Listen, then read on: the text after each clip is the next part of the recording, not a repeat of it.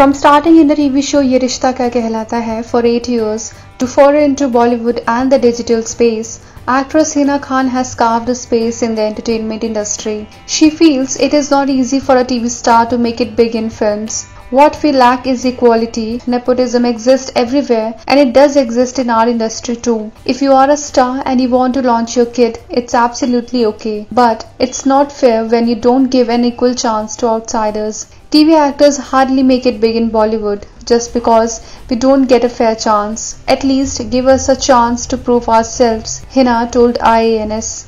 Sushant Singh Rajput's journey inspired me a lot.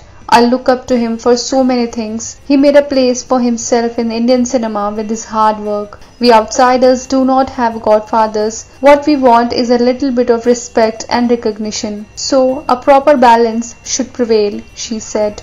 On the work front, Hina was recently seen in the digital film Unlock, currently streaming on ZEE5.